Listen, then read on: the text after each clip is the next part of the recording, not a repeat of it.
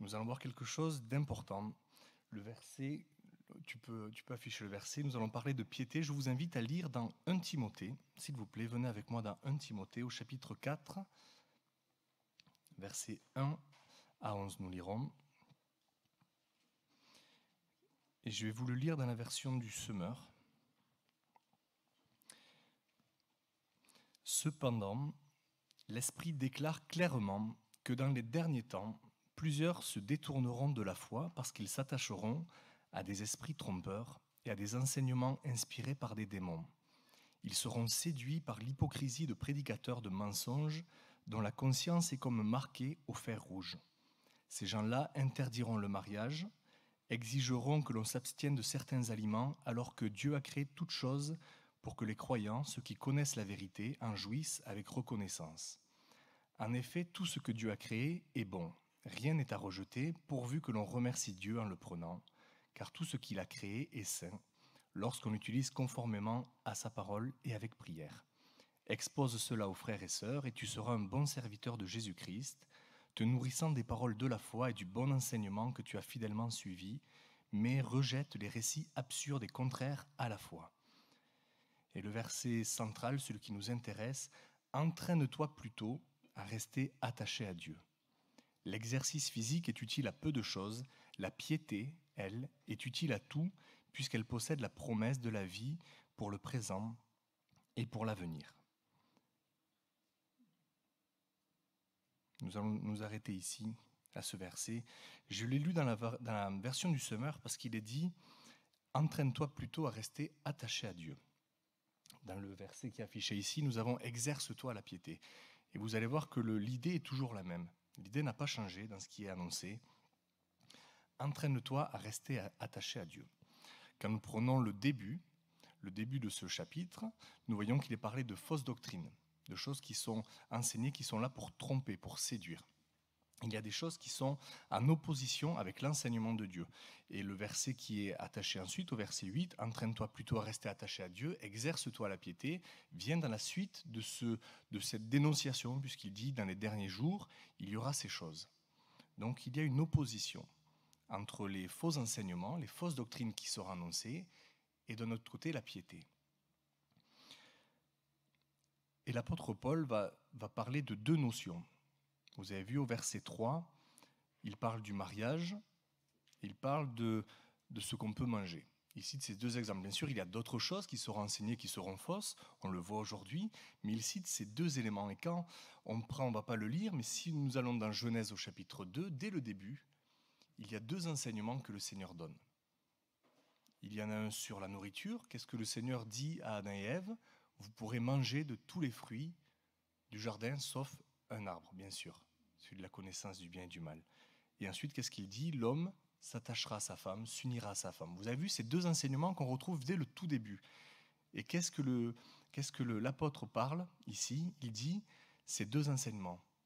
Donc on voit que l'ennemi va s'acharner à la base, à ce qui est essentiel, à ce que Dieu a laissé dès le début. Il va essayer de s'attaquer à cela.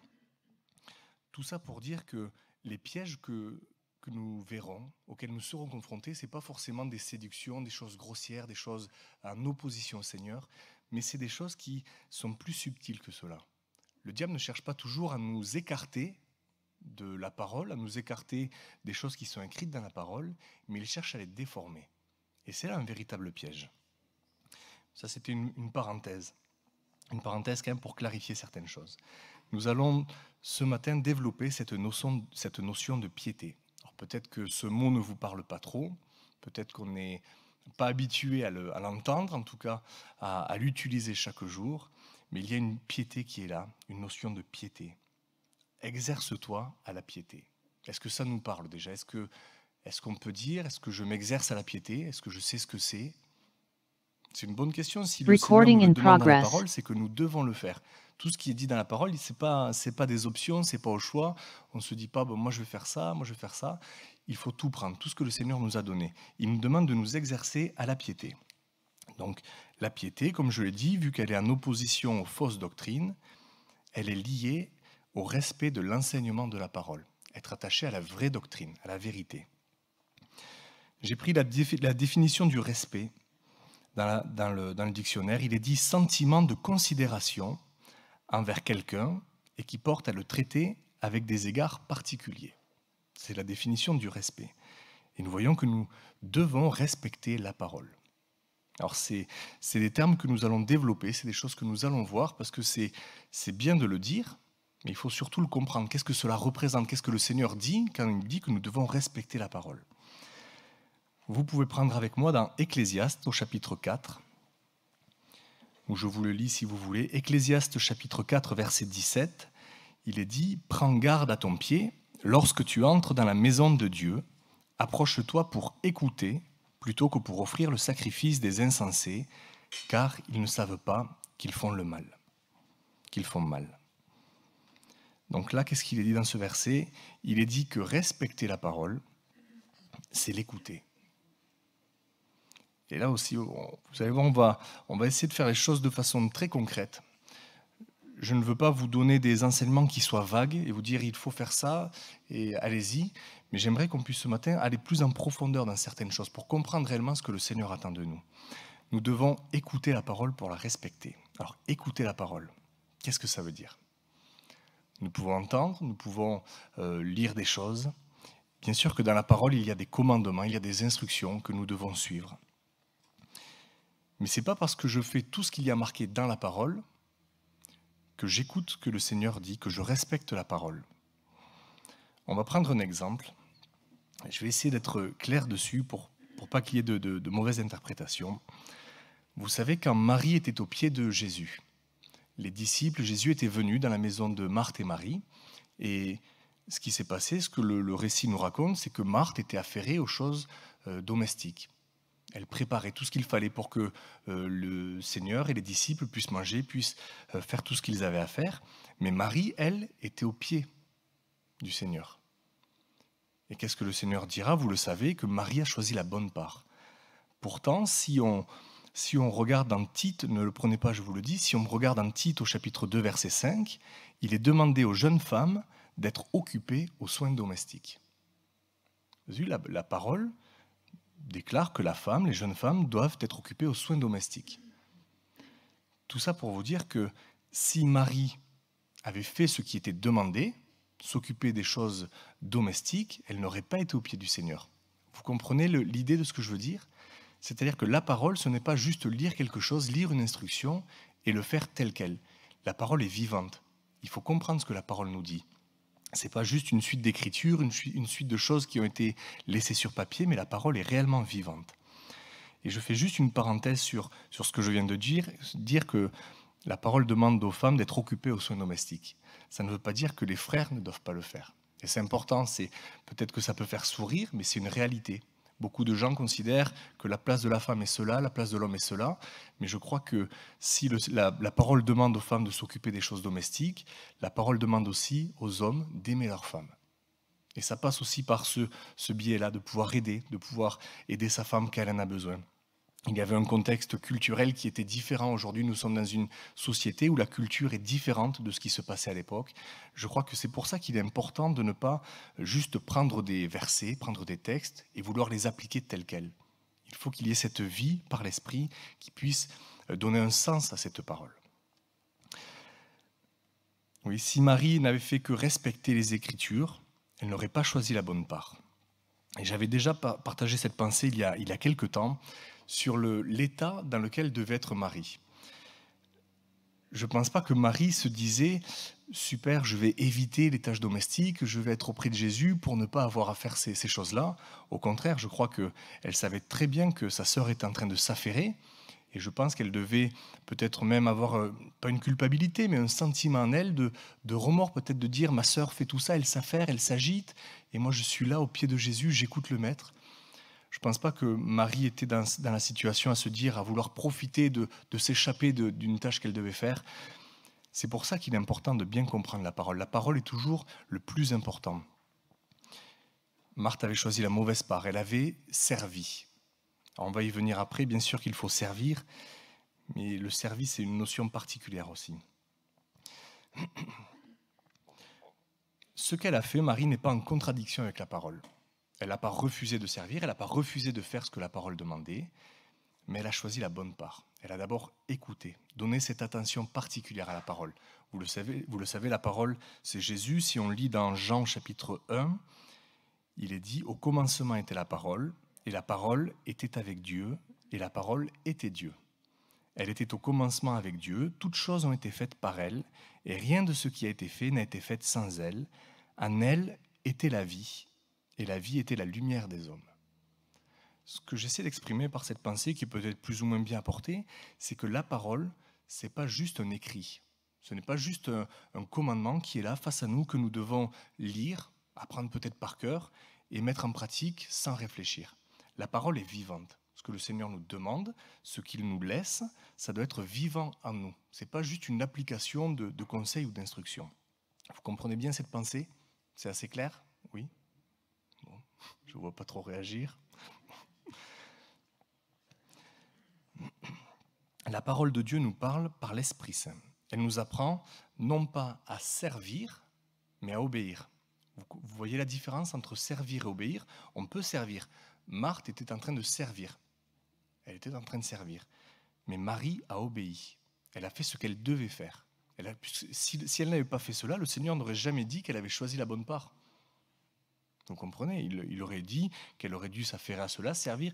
Et il y a bien cette notion différente entre le service et l'obéissance. Nous pouvons servir en désobéissant.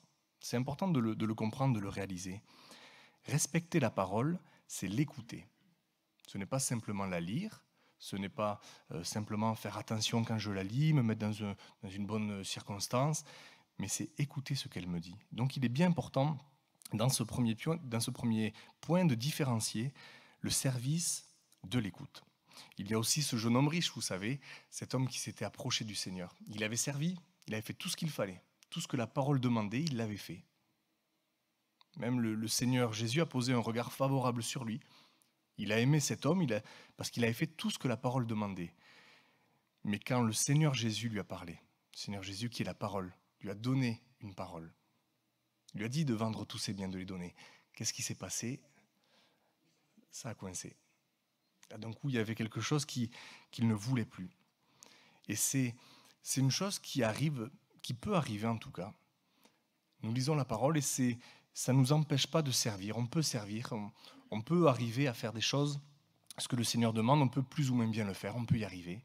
Mais quand le Seigneur nous parle directement, quand il nous révèle quelque chose, qu'il nous dit quelque chose, qu'il nous fait comprendre quelque chose, comment réagissons-nous Vous voyez, c'est ça le respect de la parole. Cet homme n'a pas respecté ce que Jésus lui a demandé. Il lui a demandé de, de faire quelque chose, il lui a donné une parole, et cet homme est parti triste la parole n'a pas eu cette vie en lui, alors qu'il aurait reçu cette vie en abondance, il avait accepté d'obéir. Mais il voulait rester dans ce service, peut-être ce confort qui le rassurait, qui lui disait je fais les choses bien, je fais ce que le Seigneur demande.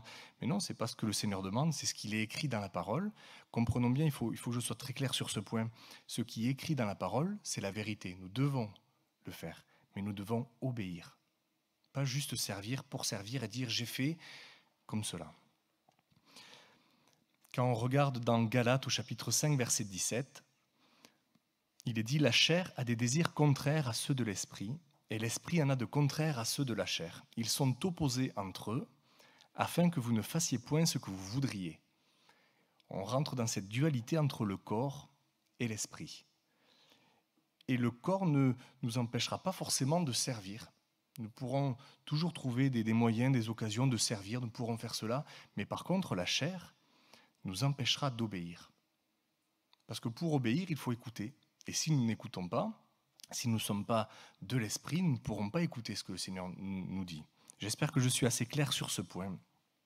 C'était le premier point, oui, s'exercer à la piété, c'est donc dans un premier temps écouter la parole.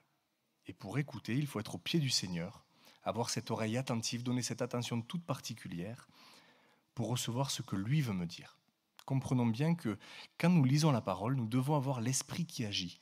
Nous ne pouvons pas juste lire, dire OK, il est dit ça, je vais le faire.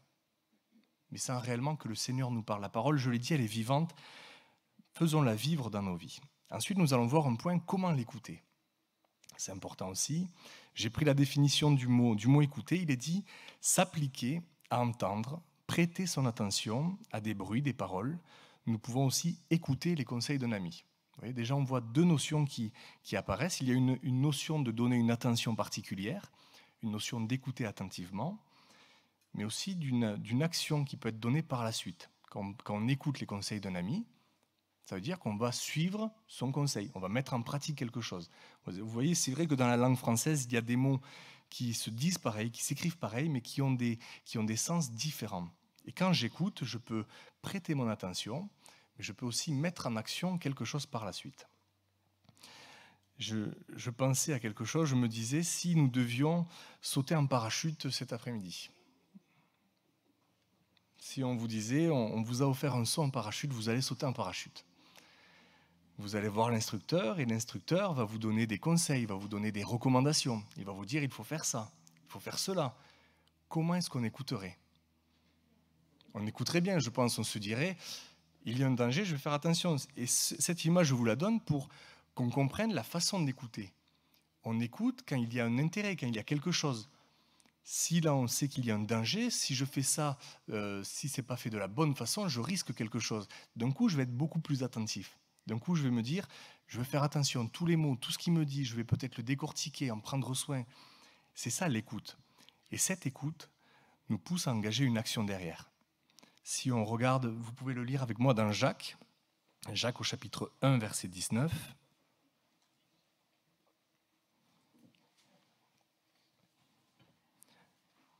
Il est parlé de cette écoute, Jacques chapitre 1, verset 19.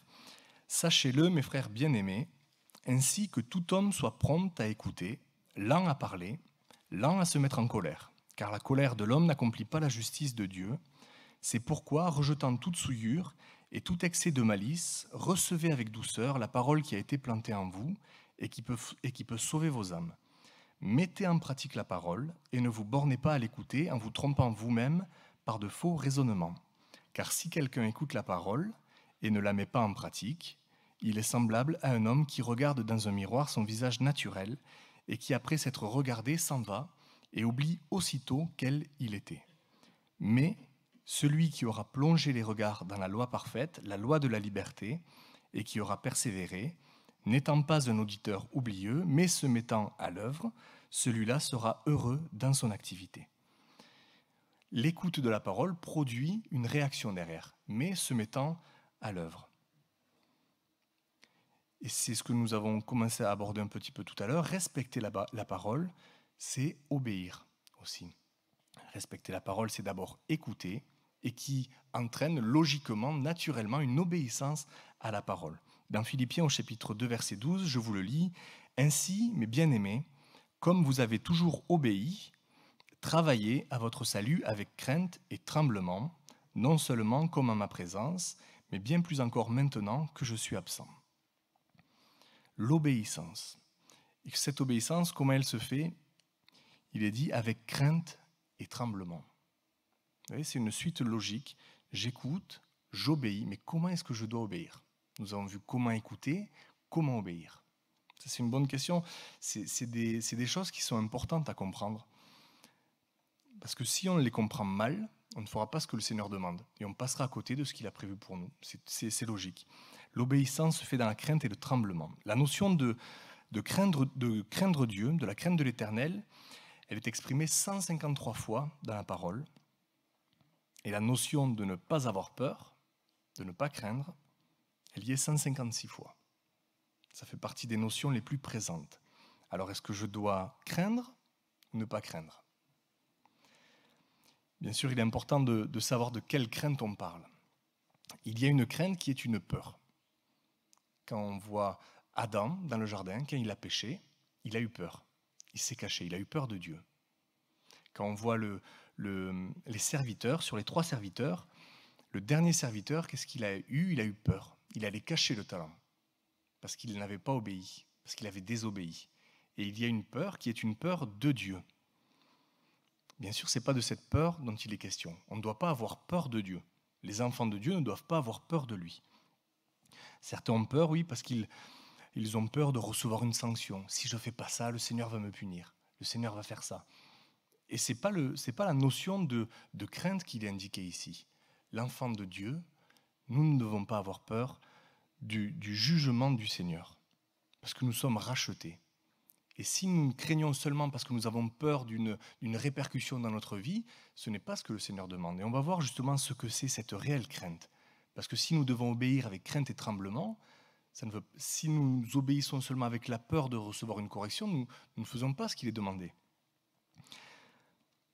Nous avons partagé un enseignement dernièrement sur la crainte de l'Éternel dans Proverbe au chapitre 2.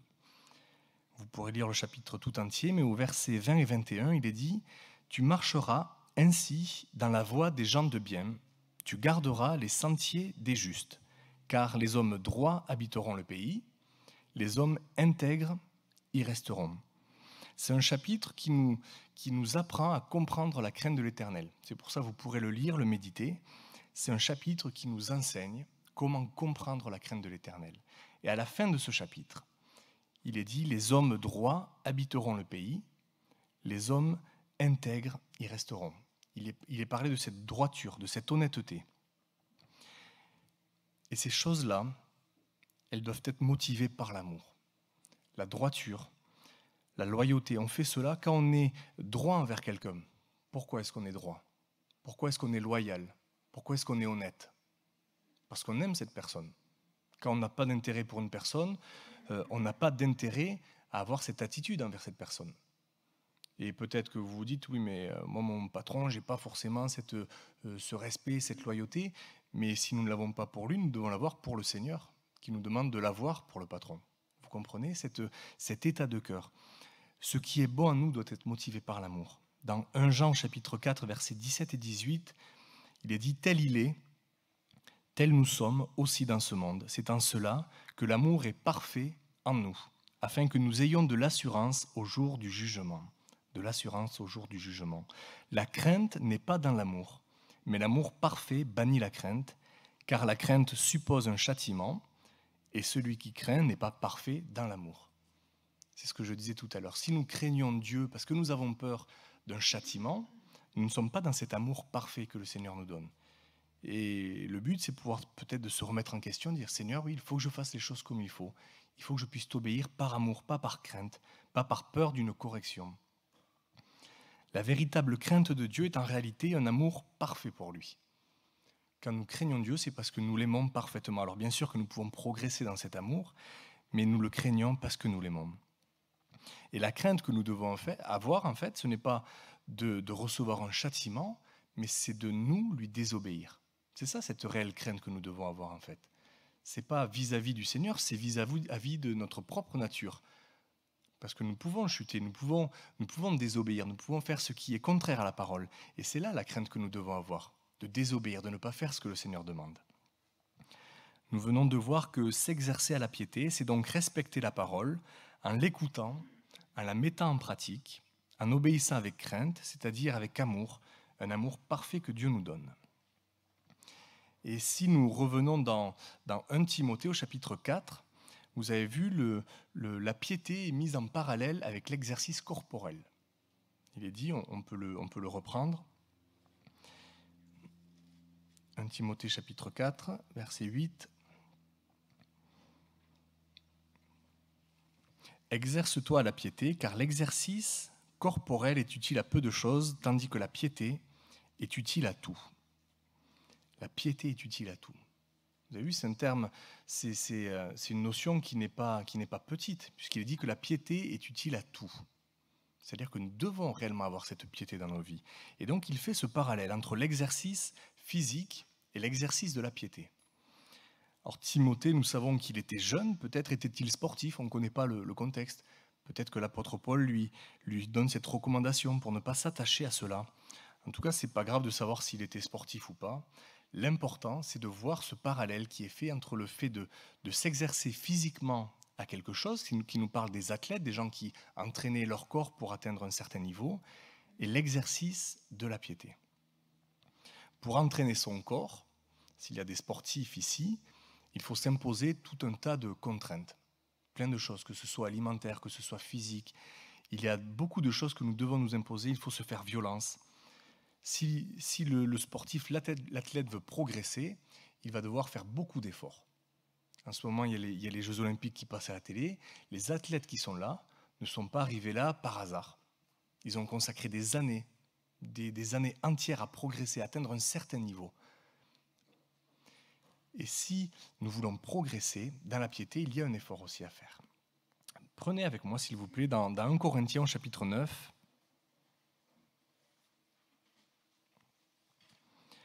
1 Corinthiens chapitre 9, nous allons lire au verset 24.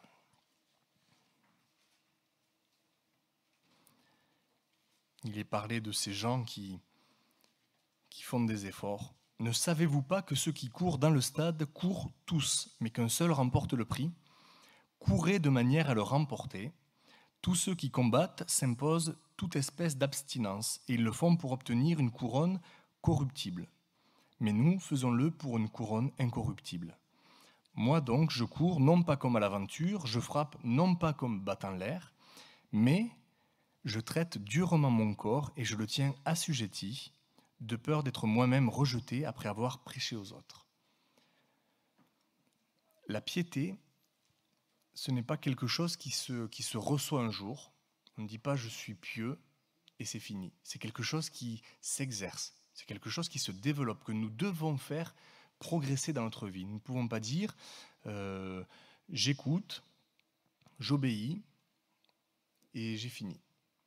Non, il y a toujours, il faut toujours progresser dans l'écoute que nous avons. on, ne sera jamais arrivé au terme de la, de la qualité de notre écoute, de la qualité de notre obéissance. Il y a une progression.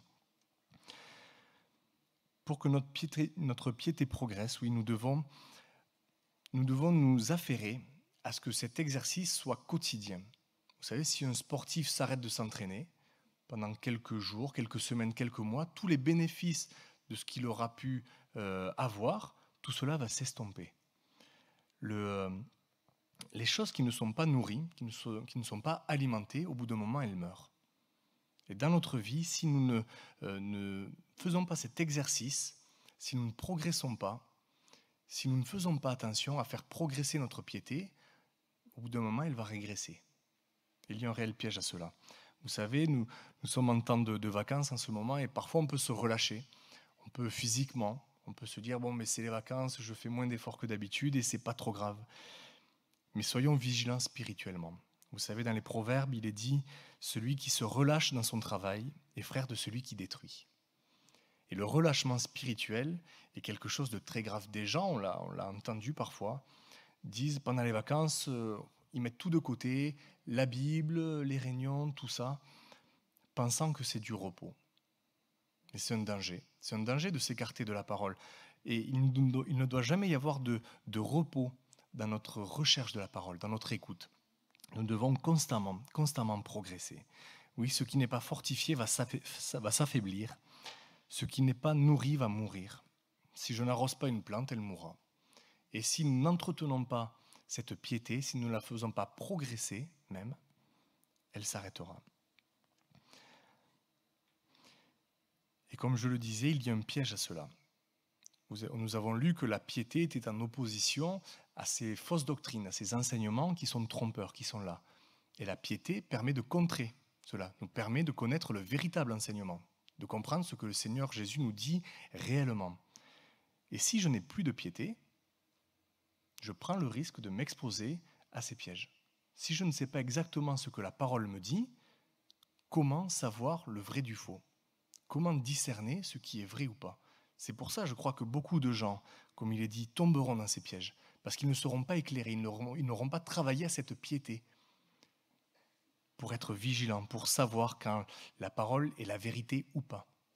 Vous comprenez l'importance de cela si nous ne faisons pas attention à cela, nous tomberons dans les pièges. Si le Seigneur l'a dit, nous ne sommes pas plus forts que, les autres.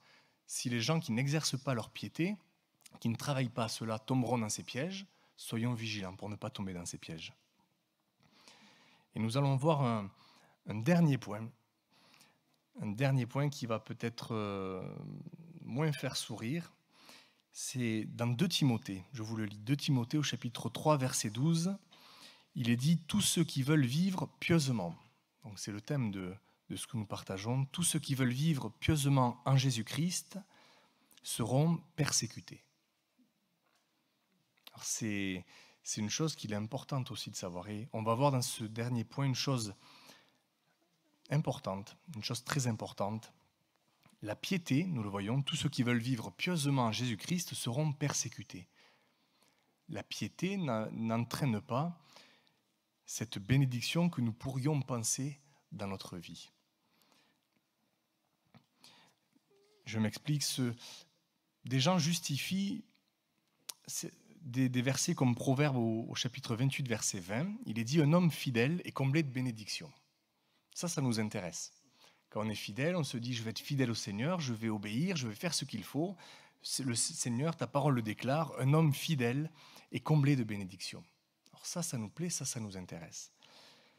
Mais quand nous lisons dans 2 Timothée Tous ceux qui veulent vivre pieusement en Jésus-Christ seront persécutés, il est important de savoir de quelle bénédiction on parle. Et parfois, on peut se tromper. On peut croire que les bénédictions terrestres sont les bénédictions dont le Seigneur nous parle.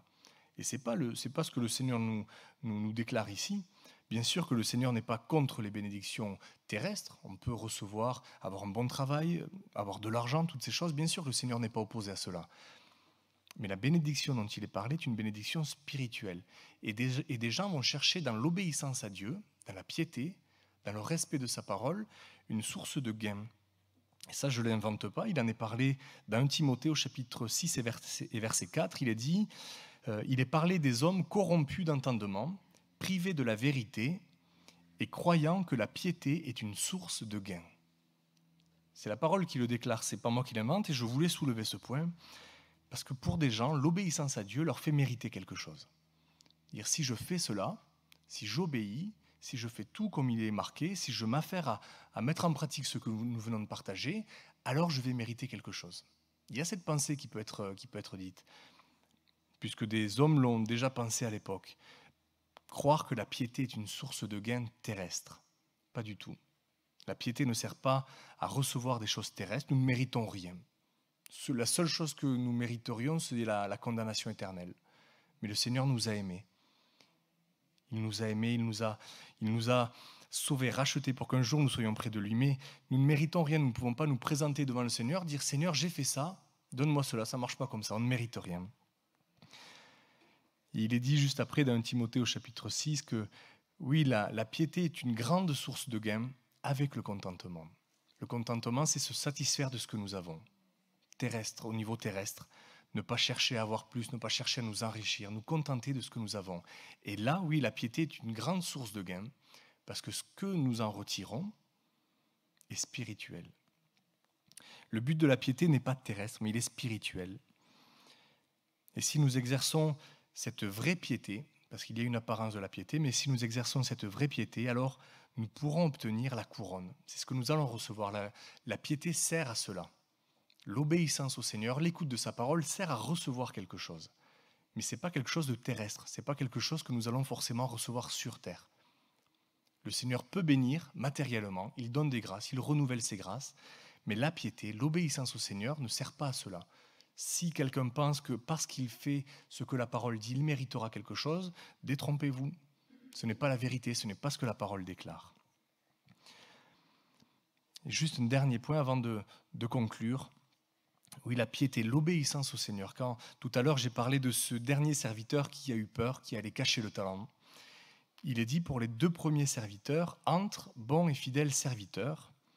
À l'un, il a été donné le, le commandement de dix villes, à l'autre le commandement de cinq villes. Il est, dit, tu as été fidèle dans peu de choses. Peu de choses. Et le Seigneur va lui en confier de plus grandes. Et, tout, et le peu de choses, en fait, J'en parle parce que nous pouvons être amenés à, ne pas comprendre ce que c'est. On peut, je vous donne un, exemple qui est ce qu'il est. Euh, une personne qui sert dans l'église. Une personne se dit je, je fais le ménage dans l'église, je passe le balai. C'est le peu de choses. Et j'espère un jour être sur cette estrade à porter la parole. Et ça, ce sera une grande chose. Pas du tout. Vous avez vu ce qui s'est passé? Il a reçu le. Il a été fidèle dans le peu de choses tant qu'il était sur terre. Quand il est rentré dans la gloire de son maître, c'est là qu'il a eu les grandes choses. Et ce que nous faisons sur terre, que ce soit les choses cachées, les choses que les autres voient, tout ce que nous faisons sur terre, c'est le peu de choses. Donc ne cherchons pas à faire de grandes choses sur terre, c'est pas là qu'on les fait. Les grandes choses, c'est dans le ciel qu'on les fera. Et c'est pour ça que la piété est une grande source de gain. Parce que les grandes choses, les choses qui ont vraiment de la valeur, c'est quand nous serons près du Seigneur que nous pourrons les faire. Il ne faut pas se tromper et croire que l'on peut faire de grandes choses sur terre. On n'est pas appelé à faire de grandes choses, on est appelé à être obéissant. Et des gens qui auront été obéissants, fidèles dans des choses petites à nos yeux, des choses qui ne sont pas visibles, certains, je crois, auront plus de récompenses, auront plus de bénédictions dans le ciel que des gens qui auront été exposés et qui auront fait peut-être à nos yeux de grandes choses. Parce que tout ce qui se fait sur terre, c'est le peu de choses. Et les grandes choses, je le répète, seront dans le ciel. Et je vais conclure ici, soyons vigilants.